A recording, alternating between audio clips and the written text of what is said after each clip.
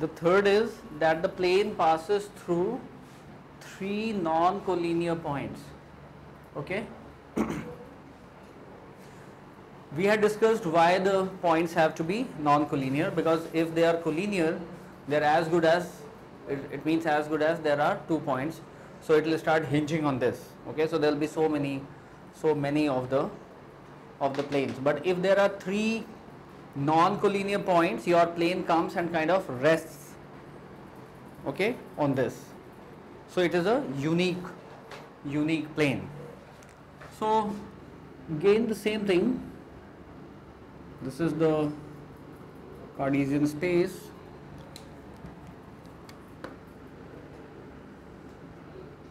And and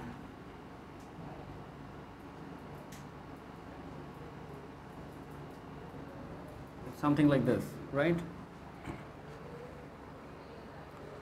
And I have three non-collinear points on this. Let us say something like this. Okay? So, hope you understand. So, this is a transparent sort of plane. Okay? And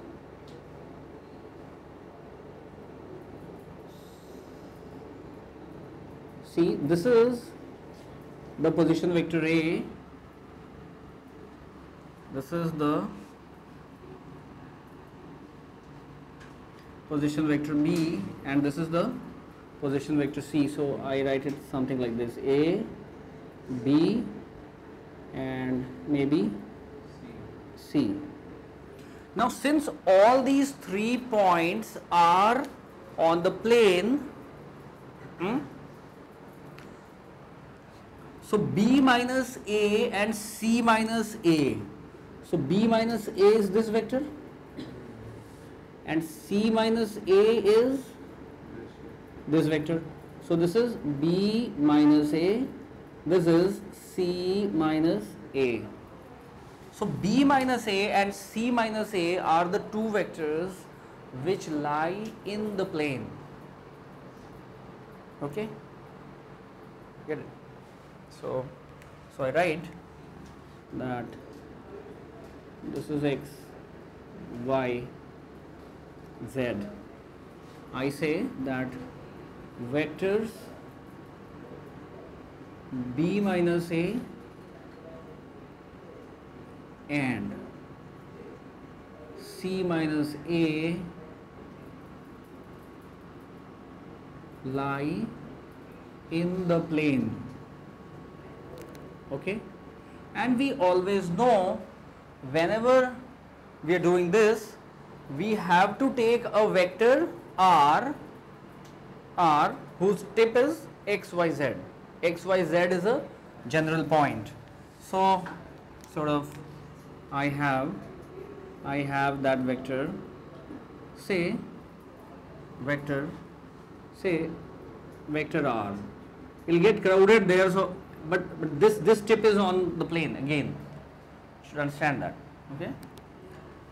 So this is my vector r and this point is x y z. Now you see vector r minus a is this vector is it not? Okay. Also also on the plane. So R is also hmm R minus A is also on the plane. Yes, uh, also also r minus a lies in the plane. Correct? Now what? You, you must have observed one thing. What have we been doing? Either we are given a normal vector and we normally find out a vector that is perpendicular to it and immediately apply this dotted that equal to 0. So in this case too, I would like to have a perpendicular vector, but whatever vector I am trying to get, I am always getting it in the plane. But I have two vectors in the plane. If I want a vector that is perpendicular to both these vectors contained in the plane, I have to do what? What do I have to do? The cross product. The cross product has the power of yielding you a vector that is perpendicular to the plane that contains both the vectors whose vector product you are taking. Right? Do you remember that? If not, then go back and see. So, what do I do? The vector,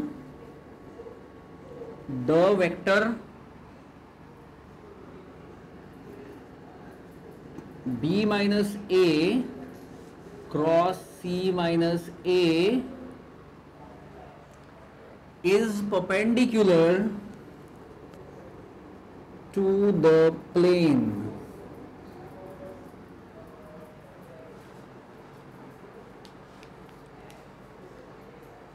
Hmm?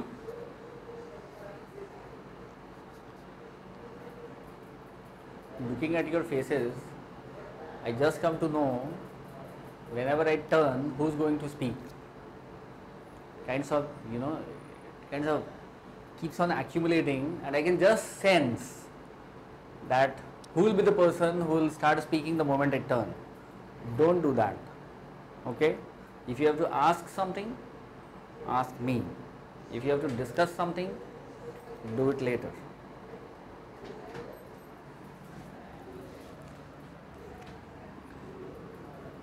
The vector b minus a cross c minus a is perpendicular to the plane and r minus a lies in the plane. Therefore, r minus a dotted with b minus a cross c minus a is equal to 0. It looks very weird kind of equation, but if you come through vector, vector, vector, it is very, very simple to understand. And again, I try to convert it into the Cartesian. So this is the vector form. Vector form of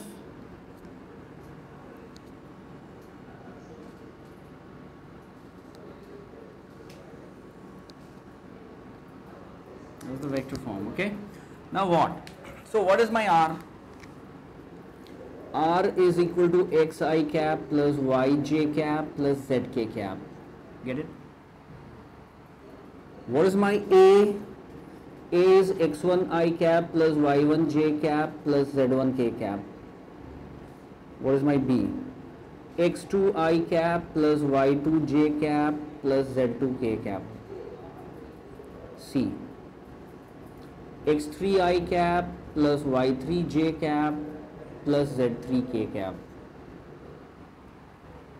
Three points. Okay. Normally, the moment you put a subscript over a point, it, it is assumed to be a fixed point. Okay. So, what else? Do we need something else? No. Now, what is r minus a?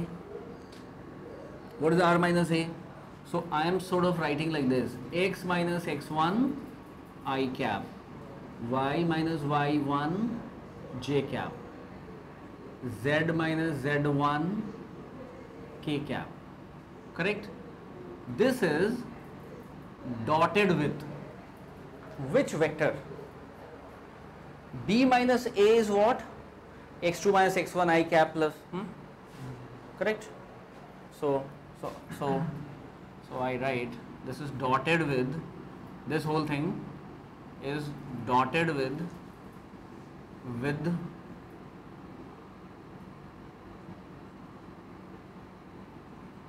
x2 minus x1 i cap plus y2 minus y1 j cap plus z2 minus z1 k cap crossed with so so this my curly bracket ends. Let me let me let me put a green curly bracket. So this within the green crossed with crossed with again within the green.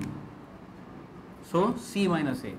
So x3 minus x1 i cap plus y3 minus y1 j cap plus z3 minus z1 k cap.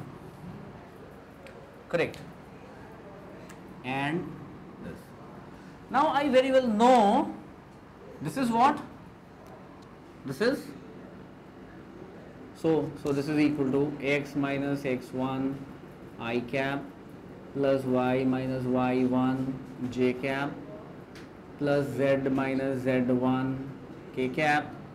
This is i j k obviously cap.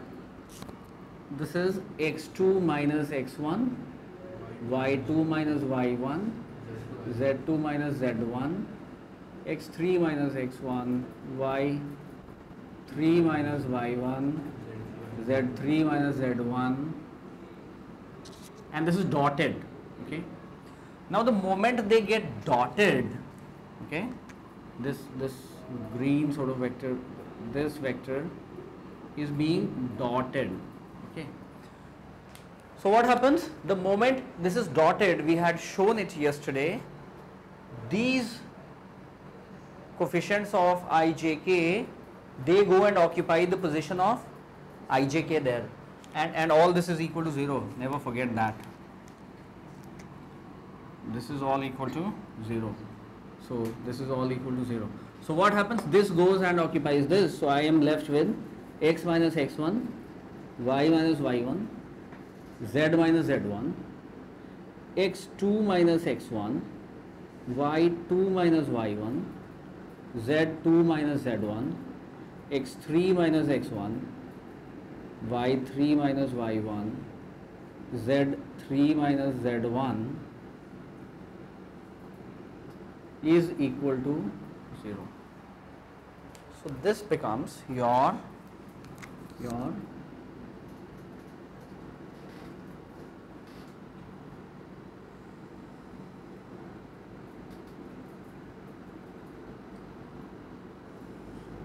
this determinant becomes your equation. This equation will obviously involve, see, y2 minus y1 into z3 minus z1, but this will be a number. So though it looks so formidable, so difficult out here, it won't be that difficult. Okay, ultimately they'll all convert into numbers. If I start writing, it will become, you know, another four terms subtracted, four terms, so it will become absolutely handful okay if you try to expand it, it will become very very deadly. But don't worry they'll all be numbers. So this is the Cartesian form. This is the Cartesian form. The green one the green box is the Cartesian form of the equation. This is the vector form. This is the vector form. And you can very well understand. You see the moment you see this immediately this will flash in your mind. This will give me three terms x minus x1, y minus y1, z minus z1. That will be the first because it is dotted. This will be next x2 minus x1, y2 minus y1, z2 minus z1. Next x3 minus x1, y3 minus y1, z3 minus z1. Is it not? So it is that simple. That very simple. Okay.